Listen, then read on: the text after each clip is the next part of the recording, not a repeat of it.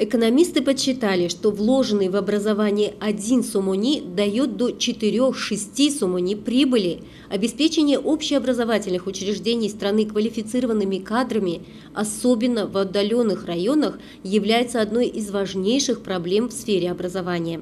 В Таджикском национальном университете была проведена встреча представителей Министерства образования и науки Республики Таджикистан с выпускниками, на которой были обсуждены вопросы обеспечения кадрами учебных учреждений страны.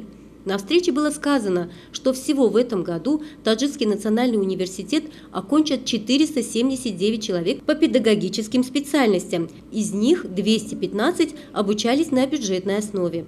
Но заканчивая педагогические вузы и колледжи, выпускники не спешат в общеобразовательные организации, а ищут возможности заработать на иных поприщах.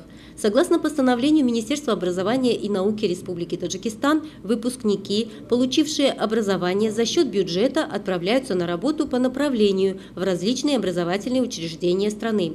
После окончания университета и получения почетного звания учителя они должны своевременно приступить к своей работе.